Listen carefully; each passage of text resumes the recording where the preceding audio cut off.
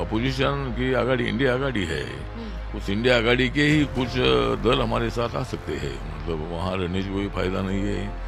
और अभी जोरदार इंडिया आगाड़ी ने कोशिश की सत्ता में आने की लेकिन जनता ने उनको रोका है।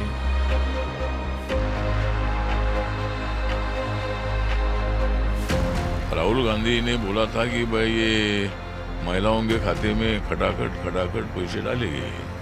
एक लाख खटाखट खटाखट पैसे डालेंगे। लेकिन अभी उनको मौका नहीं मिलेगा। हम मतलब महिलाओं के खाते में खटाखट खटाखट पैसे डालेंगे और खटाखट खटाखट निर्णय हम लेंगे और सभी वर्गों को न्याय देने का, किसान है, युवा है, महिला है गरीब है, ऐसे सब लोगों को न्याय देने का काम हमारी सरकार का है। और सौ दिनों का जो हमारा मास्टर प्लान है, उसको इम्प्लीमेंट करने का काम शुरू हुआ है। और हर हफ़्ते में बहुत बड़े कैबिनेट में इम्पोर्टेंट निर्णय होगी। और सभी लोगों को मालूम होगा कि मोदी जी क्या चीज़ है। मोदी सरकार, मोदी 3.0 के अंदर भी केंद्रीय स्थल पाने के लिए यहाँ पर जिद्दोजहद जारी है कि आखिर मिनिस्ट्रीज और पोर्टफोलियो किसको मिलने वाले हैं। और इसी को लेकर विपक्ष की जो तीखी प्रतिक्रियाएँ हैं, वो भी जारी है। रामदास अथवली जी हमारे साथ जुड़े हैं। सर, आज आप पूरा चार्ज भी लेने वाले हैं। कितनी खुशी है फ़र्स्ट ऑफ़ ऑल इस पूरे मोदी 3.0 सरकार के निर्मित की, जिसको लेकर लगातार विपक्ष जो है इंडिया अलायंस जो है, आक्रमिक था।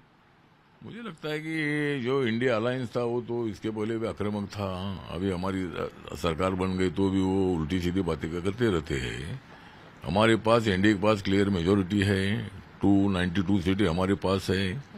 सरकार बनाने के लिए 272 की आवश्यकता थी। और ठीक बात है, थोड़ी कम सीटें आई है। लेकिन मैंडेट जो है मैंडेट नरेंद्र मोदी जी ने सरकार बनाने का है। एनडीए का सरकार बनाने का है। और एनडीए की सरकार बन गई है। तीसरी बार पंडित जवाहरलाल नेहरू जी के बाद तीसरी बार प्रधानमंत्री पद की शपथ लेने वाले नरेंद्र मोदी जी है। और एक ऐतिहासिक ये क्षण है। और मुझे जो मंत्रालय मिला है जो सामाजिक न्याय और अधिकारिता मंत्रालय है। बाबा साहब अंबेडकर जी ने सामाजिक न्याय के लिए पूरी ज़िंदगी खर्च की थी। समाज को जो जोड़ने के लिए उन्होंने काम किया था। गरीबों को ऊपर उठाने का उन्होंने काम किया था। तो माननीय नरेंद्र मोदी जी ने आ, मुझे उनके मंत्रिमंडल में तो मुझे ले लिया है लेकिन मुझे सामाजिक न्याय जो आठ साल से लगातार मैं उसी मंत्रालय का काम करता रहा हूँ। और मेरे मंत्रालय के अंतर्गत शेड्यूल कास्ट आते हैं डीएनटी आते हैं ओबीसी आते हैं दिव्यांगजन आते हैं सीनियर सिटीजन आते हैं ट्रांसजेंडर आते हैं अनाथ जो बच्चे बच्चिया जो है वो आते हैं। और मेरे मंत्रालय के अंतर्गत इंटरकास्ट मैरिज के लिए भी हम पैसा देते हैं। जो कुछ गरीब लोग हैं ऐसे लोगों को भी मतलब डॉक्टर अंबेडकर फाउंडेशन की तरफ़ से साढ़े तीन लाख रुपए में देते हैं। साफ़ कह सकते हैं कि एक महत्वपूर्ण मंत्रालय है सर आपका। लेकिन संजय सिंह आम आदमी पार्टी के नेता ने कहा है कि एनडीए के जो अन्य घटक दल हैं भाजपा के अलावा उनके हाथों में झुंझुना मंत्रालय दे दिया है। झुंझुना पकड़ा के उनके साथ बड़ी ही बेजती करने का काम किया है भाजपा ने। मुझे लगता है कि उन्होंने हमारे इंटरनल जो हमारा जो कारोबार है, उसमें लक्ष्य देने की ज़रूरी नहीं है। किसको मंत्रालय देना है, क्या देना है, ये माननीय प्रधानमंत्री जी का काम होता है। और सभी जो ग्यारह घटक दल है, उन सब लोगों को मंत्रालय मिला है। ठीक बात है, अभी हरेक को सभी अच्छा मंत्रालय नहीं दे सकते हैं, लेकिन जिनको मंत्रालय मिला है, उनकी कोई ये कंप्लेंट नहीं है। उन्होंने मतलब जो भी मंत्रालय दिया उसको स्वीकारा है। तो ये जो अपोजिशन वालों ने मतलब हमारे इंटरनल जो कारोबार होता है, उसमें ध्यान देने की आवश्यकता नहीं है। और हमारी सरकार पाँच साल तक चलने वाली है। इंडिया आगाड़ी वाले बोल रहे हैं भाई ये छः महीना चलेगी, एक साल चलेगी।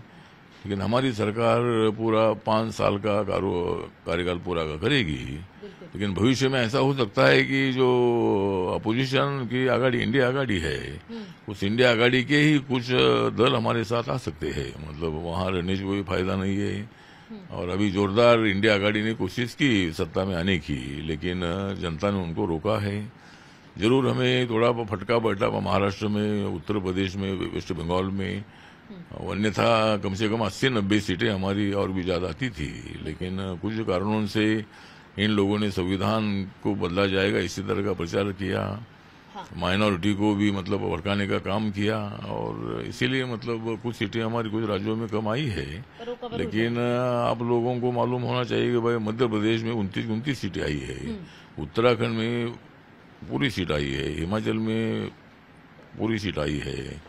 अपना झारखंड हो या छत्तीसगढ़ हो, ऐसे राज्यों में भी मतलब हमारी सीटें आई है। तेलंगाना में हमारी सीटें आई है, कर्नाटक में हमारी सीटें अच्छी आई है।